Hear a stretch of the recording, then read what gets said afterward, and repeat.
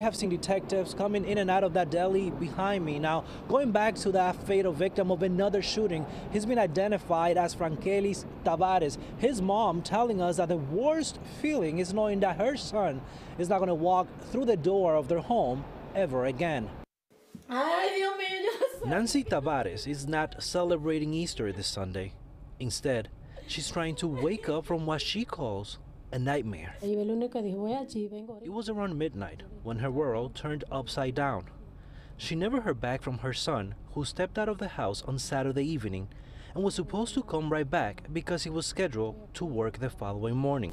Y está muerto. ya. Police arrived at her home in the Bronx to let her know that 25 year old Frankelis Tavarez had been killed. Although she speaks no English, the pain of this mother is palpable.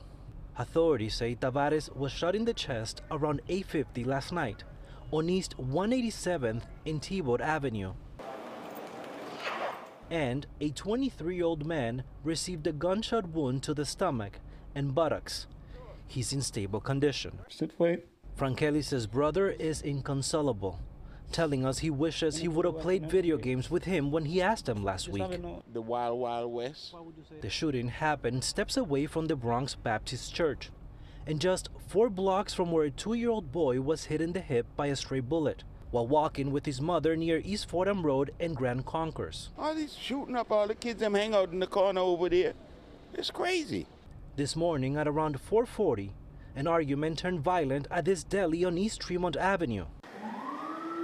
According to the NYPD, a 30-year-old man was taken to St. Barnabas Hospital after getting shot in the upper right thigh.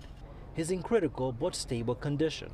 This is just getting more crazy out here. No arrests have been made for these crimes, including Frankelis' murder. Yo quisiera saber. Another death due to gun violence, leaving a mother not only with her heart ripped apart, but also wondering why and who killed her son. And the NYPD confirming to us that multiple men fled the scene after shooting Tavarez.